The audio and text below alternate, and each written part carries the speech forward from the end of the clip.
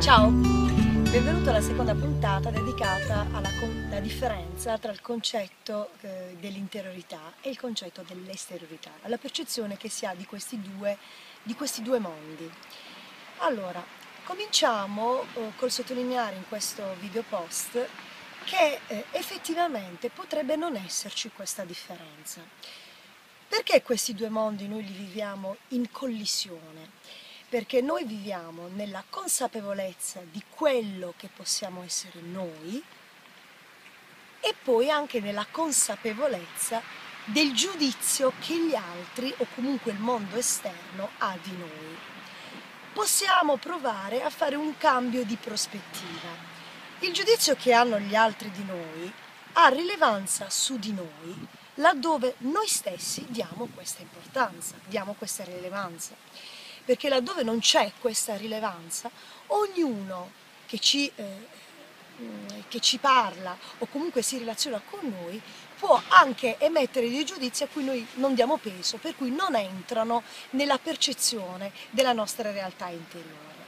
Quando diventano importanti? Quando noi diamo questo peso, questa importanza allora già il discorso diventa un po' più labile di differenza tra mondo interno e mondo esterno, perché se siamo noi che diamo un valore alle opinioni altrui è sempre qualcosa che viene dall'interiorità.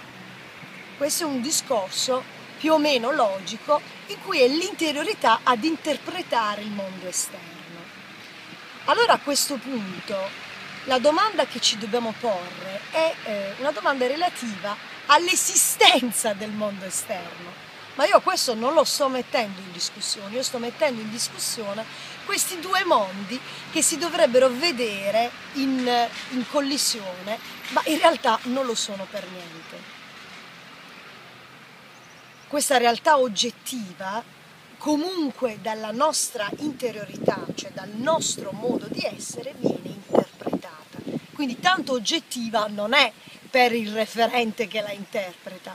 A questo punto già la differenza, la eh, sensazione di differenza che c'è tra questi due mondi che noi percepiamo come mondi diversi, già comincia a ridimensionarsi. Cominciamo a vedere anche un altro aspetto di questa mia, diciamo, tra virgolette, teoria, che è quella in cui non c'è proprio questa differenza.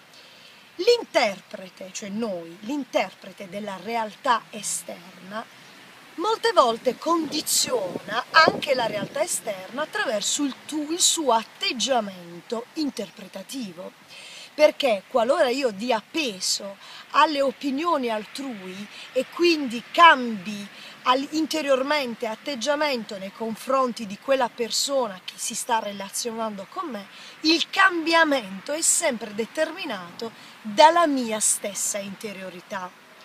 Allora, cosa possiamo fare per togliere di mezzo questa divisione che noi percepiamo? Dobbiamo risalire a quello che noi identifichiamo con il nostro essere, ossia con il concetto di personalità. Ma di questo ne parleremo nella terza puntata. Ciao!